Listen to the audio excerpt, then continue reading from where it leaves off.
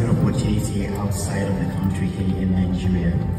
And there was an attempt by the people I did business with to steal from me. Um, during the meeting on Monday, while uh, Dr. Debbie was ministering, I believed God and I sowed a seed for it.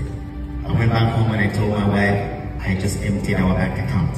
And I'm sorry I didn't tell you. But it's all done. And I said I released all of that because I believed God for that miracle to happen. The very next day I got a call and the guy who called me screamed on the phone calling my three names, my first initial and my last name.